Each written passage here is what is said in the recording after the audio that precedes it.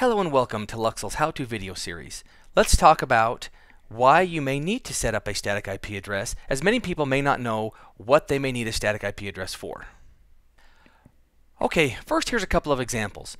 The first example is when I purchased a new access point, and this could be a camera or a switch or any other device that has a, an IP address already set on it. And I need to set up that device. So the first thing I do is I'm going to connect my computer, uh, typically via Ethernet, right to the device. And in this case, I've got the PoE injector in the middle, uh, just to show the, the, the Ethernet connection between the two for this access point. And what's going to happen when your computer comes up and, and its Ethernet uh, card gets connected is it's going the first thing it's going to do is it's going to send out a request for an IP address and is expecting to get a reply. Now, the access point, where it's not a router, does not have a DHCP server to hand out IP addresses. So, unfortunately, the computer then sits and waits and waits, waiting for a reply to come back, and nothing comes back. So, because of that, the computer never gets an IP address, and thus he can never talk to the access point because he doesn't have an IP address on the same subnet as your access point. Now, in the second example, uh, we have a router here. So, this is where maybe you've, you've you've got an access point and you've plugged it in and you've connected it to the router and you know we expect to be able to connect to this device and set it up. And this is often where you're going in where maybe it's not an existing network that you've already got and you're going uh, that, that you're putting in and you're taking this access point and putting it into another network, okay? Now, in this case, we're going to connect to this access point wirelessly, which act but and actually wireless work or wired works the exact same way. But in this case, we're going to connect wirelessly, and our same process is going to happen.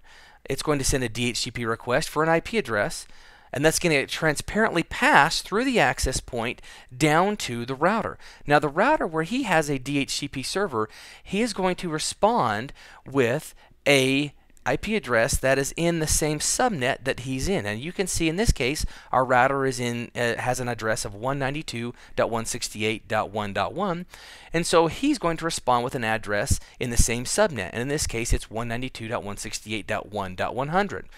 And the computer is going to say, "Great, thank you. I have an address," and he sets that as his IP address.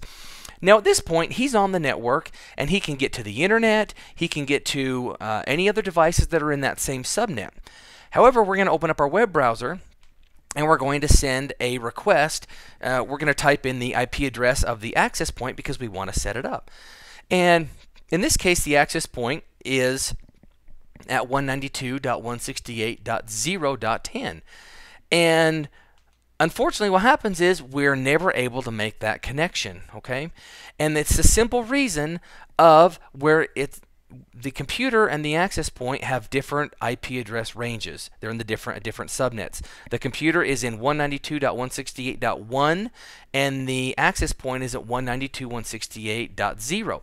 Now you're asking, well, why did it work? Why could it get to the internet? Well, the access point actually just transparently passes that information through, and unless you have to talk to it directly, it doesn't have to work with an address. So the computer needs an address in the 192.168.0 subnet range, and so for that, we can go set a static address, and so we can talk to our access point and set it up. We're working with an XAP 1230 and it's in its default settings of 192.168.0.10. If we were able to see the wireless network from this machine, we could actually see that it's still broadcasting the Luxul Zen wireless network name. In our case, we tried to get into it and we failed. We've gotten the 0.10 into our web browser and we can't get to it. Now, what we know has happened in this particular case is we are set up on a network that is set to the 192.168.1 subnet. So that's actually our issue. We need to go in and set a static IP. In this particular operating system, we're working with Windows 8. And what we want to do is we want to press the Windows and the X key together. Once we do that, it's going to open up this left-hand menu for us. And we're going to go to the control panel. Now what I'm going to do is I'm going to go ahead and leave this at the defaults that you would see if you haven't made any changes. You'll notice that up here under our view by we're set to category. And then what we're going to do is we're going to click on the network and internet link. And then from network and internet we're going to go to network and sharing center. And then once we've got this open, we're going to go to change our adapter settings. what we're actually doing here is we're going to set a static IP on our Ethernet adapter that's within the 192.168.0 range so we can set up our XAP 1230. So we're going to go ahead and right click on that and choose properties. Then we're going to scroll down in our list and find Internet Protocol version 4. You want to highlight that, don't uncheck it, and then press the properties button. Once we're open into the properties of Internet Protocol version 4, we're going to click use the following IP address. And the IP address I like to use is 192.168.0.200 just because typically there's not any devices on that .200 address. If you click into the subnet mask, it's going to autofill for you. And then the default gateway will actually be the IP address of our access point. So it'll be the 192.168.0.10 of our Luxul XAP 1230. Then we're going to go ahead and click OK. And we'll press the close button at the bottom of our properties window. Now I like to leave this window open because if you watch, it's going to go into an identifying state here for us. It's going to give that network a name, and then it's going to ask us, do we want to turn on sharing or do we want to turn it off? In our case, we actually want to turn it on because we're going to set this to a home or work network. If we select the public network, it actually can lock down the firewall and cause us some problems. Now, in my experience, I always like to minimize this window and leave that open just because it does help.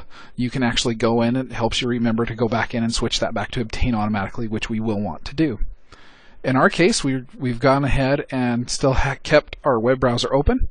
We're going to go ahead and refresh that connection. And now, as you can see, we've got an authentication window. We'll go ahead and enter our authentication, which is ADMIN. ADMIN by default.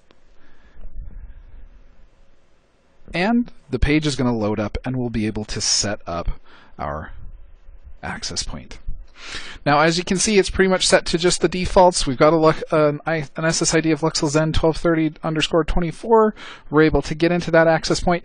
But I will show you one other thing. If we do try to get out to just a standard web page like google.com, it's actually going to fail. And that's okay. We've got that static IP set. So this is exactly what we'd expect to see. We'd expect to see that failure. What that reminds us is after we're done setting up our access point, we want to go back into our network connections. We're going to right click on that device, bring the properties back up, select Internet Protocol version 4, click properties, and then we're going to go ahead and switch that back to obtain IP address and obtain DNS server automatically. We're going to go ahead and click OK and close and that's going to go back through. It'll identify as network 6, and that's going to re-enable our internet access.